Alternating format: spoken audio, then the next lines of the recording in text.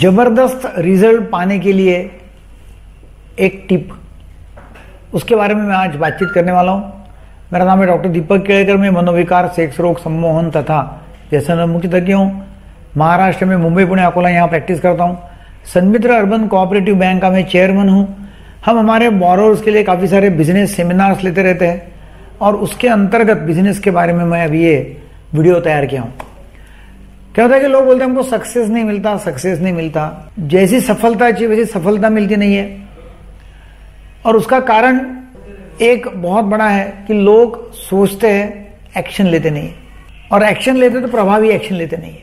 सोचते हैं एक्शन लेते नहीं मतलब क्या है कि डिसाइड करते हैं, निर्णय लेते हैं, सोचते हैं। मगर उसका कन्वर्शन एक्शन में होना चाहिए। Implementation of thinking implementation of planning वो ज़रूरी है। समझो एक दीवार के ऊपर पाँच मुर्गियाँ बैठी हुई है। उसमें से तीन मुर्गियों ने उड़कर जाने का निर्णय लिया। कितनी बची? तो नेचुरली जब मैं सवाल पूछता हूँ तो लोग बोलते दो बच गई। एक्चुअली दो नहीं बची, पाँच ही बची। क्यों? क्योंकि पाँच में से तीन ने उड़ के जाने का निर्णय लिया, उड़ी नहीं है एक्शन नहीं लिया। लोग निर्णय लेते हैं प्लानिंग बनाते हैं एक्शन लेते नहीं है। और एक्शन लेने का तय भी करते हैं, तभी भी वो एक्शन कब लेंगे ये लिखते नहीं है। कि भाई मैं ये एक्शन ये तारीख को इतने बजे लूँगा। उसको बोलते हैं प्रॉमिस करना। वो एक्शन लेने के लिए, कृति करने के लिए वचन देना। एक तो वचन अपने आप को देना या और किसी को देना। या वचन लेना। समझो मैं मेरे खाली स्टाफ को बोलता हूँ कि तुम ऐसा करो कि ये मोबाइल दुरुस्त करके लाओ। समझो दिया उनको कि ये मोबाइल दुरुस्त करके लाओ। ये खराब हुआ है मोबाइल मेरा। तो बोलता हाँ मैं लाता हूँ। और वो लेके जाता। अब ये बोल के होता नहीं है। मैंने उसको बोलना कि मोबाइल लेके जा रहा है। तो ये मोबाइल कब तक, कितने बजे तक, कौन से दिन तक दुरुस्त करके लाएगा? तो उसने बोलना कि ठीक है, मैं ये मोबाइल आज शाम को पाँच बजे तक आपको दुरुस्त करके लाता हूँ। हम क्या बोलते हैं हाँ ये मोबाइल लाओ दुरुस्त करके। वो लेके जाता, दुकान पे डाल देता दुकान वाला बोलता, आ जाओ, दो तीन दिन के बाद में। मोबाइल वहीं पड़ा है। तो जब मैं अपने स्टाफ को बोलूँगा ना ये कब तक दुरुस्त करके लाएँगे? तो फिर वो स्टाफ भी मेरा जाएगा, मेरा कर्मचारी दुकान में जाएगा, उसको बोलेगा, कब तक दुरुस्त करके देगा? वो वचन लेगा एक्शन लेने के लिए। मैं कब तक आऊँ?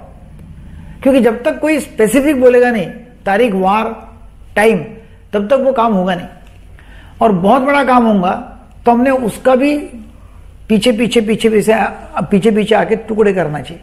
जैसा समझो मैंने बोला कि भाई, मैं दस सेल करूँगा ten sales I will do एक हफ़्ते में मैं दस सेल्स करूँगा या दस प्रोडक्ट बेचूँगा।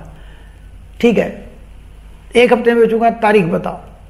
चलो, आज की तारीख एक है। चलो, सात तारीख को करूँगा। ठीक है? सात तारीख को कितने बजे तक हो जाएगा? शाम को पाँच बजे तक ये सेल हो जाएगा। ठीक है? तो सात दिन में दस सेल्स होने वाले हैं। ठीक है? फिर तीन दिन में कितने होंगे? दो दिन में कितने होंगे? एक दिन में कितने होंगे? ऐसा प्रॉमिस लेना पड़ेगा और वो समय पे वो हो रहा कि देखना पड़ेगा। तो वो सेल हो रहे तो उसके लिए फिर कौन सी एक्शन लेगा? और वो कब कब लेगा एक्शन वो भी लिखनी पड़ेगी। अब ऐसा हम हर क्षेत्र में करेंगे तो देखो कितने बड़े रिजल्ट्स आएँगे। क्योंकि हम बोलते हाँ कर लेंगे ना जी? हो जाएँगे जी? कब होगा? समझो मैं किसी को खाना खाने बुलाता हूँ कि भाई आप हमारे यहाँ खाना खाने लिए आइए। तो मैं ऐसा थोड़ी बुलाता हूँ किसको? मैं बोलता हूँ कि आज शाम को आइए। सात बजे और नौ बजे के बीच में आइए। ऐसा स्पेसिफिक बोलता हूँ। स्पेसिफिक निमंत्रण देता हूँ। और उससे भी उसका प्रॉमिस लेता हूँ। क्योंकि समझो उसने बोला हाँ मैं आता हूँ। और वो प्रॉमिस का पक्का है तो ही आएगा, नहीं आएगा तो प्रॉमिस का नहीं होगा तो मैं बोला नक्की आएँगे कि नहीं आएँगे? पक्का आएँगे। तो मैं खाना बनाऊँगा देखता हूँ, उसने बोला मुझे। सोचता हूँ, बताता हूँ तो फिर मैंने खाना बनाना कि नहीं बनाना?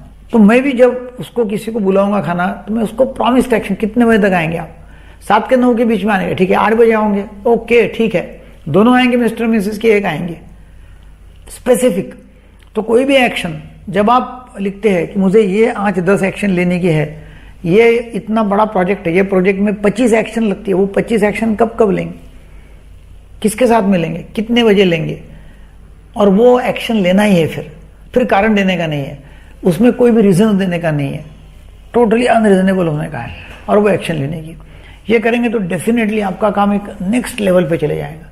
क्योंकि आप अपने आप को प्रॉमिस करें कि मैं इतने बजे करूँगा ये काम। तो इस तरह का काम करो। वीडियो आपको अच्छा लगा तो ज़रूर सभी छोटे, मोटे, बड़े, सभी बिजनेसमैन को ये शेयर करो कि भाई ये वचन देना है कृति करने के लिए एक्शन लेने के लिए। और वो स्पेसिफिक शेड्यूल बना के वर्क लिस्ट बना के टू डू लिस्ट बना के, उसके सामने टाइम एंड डेट डाल के वो काम करने का है। तो लोगों के बिजनेसेस एक ऊँचे लेवल पे जाने के लिए आप उनको सहायता करेंगे। तो आप सोचो कि आप किसको किसको वीडियो शेयर कर सकते हैं? कौन कौन ऐसे लोग हैं कि जो हवा में बात करते रहते उनको ये वीडियो शेयर करो। हमारा मकसद है सबके लिए मानसिक स्वास्थ्य व्यसन मुक्त भारत और फाइनेंशियल फ्रीडम फॉर एवरीवन उसके लिए आप भी हमारे पार्टनर बनिएगा। मेरा ऐप है वो आप गूगल स्टोर से प्ले स्टोर से डाउनलोड कर लो। उसमें काफ़ी सारे फ्री वीडियोस है चैटिंग कर सकते हैं और आप आ, सब अलग अलग ऑनलाइन कोर्सेज कर सकते हैं। आप हमें ऑनलाइन कंसल्टेशन ले सकते हैं कॉल कर सकते हैं सलाह ले सकते हैं। Thank you very much